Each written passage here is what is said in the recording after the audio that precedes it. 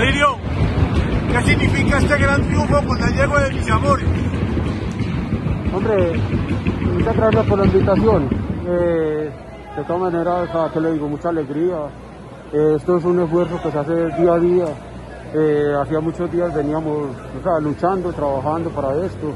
Hoy, gracias al Señor, se ha logrado esto, se ha logrado un triunfo muy grande, porque aquí habían yeguas muy excelentes, muy, muy, muy, muy trozadoras. Demasiado trozadoras, diría yo. Gracias a Dios.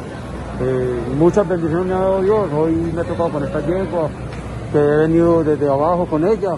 Y hombre, hoy, mire, ha demostrado que la yegua es una gran, gran yegua.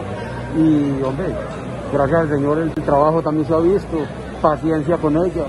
Eh, ya sabes que los hijos de Boni ellos son delicadongos, pero con toda la paciencia que he tenido con ella, hoy hemos logrado. Y esta semana ella cumplió los 78 meses, entra a la categoría de mayores y se estrena con el gran campeonato.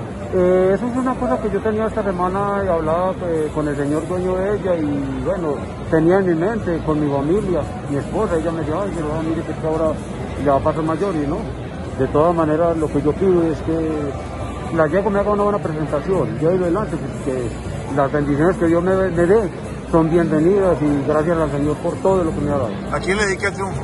Eh, primeramente a Dios de nuestro Señor, que amanezco todos los días vivo, alentado, con ganas de trabajar y me ha dado esa fortaleza, esa sabiduría para poder mandar los caballos y a mi esposa y a mis hijas que tengo. Alirio, que lo disfruten, buena hora. Muchas gracias. Gracias, a usted. Alirio, el gran campeón de la, con la yegua trochadora en la Copa Ciudad de Medellín. Thank you.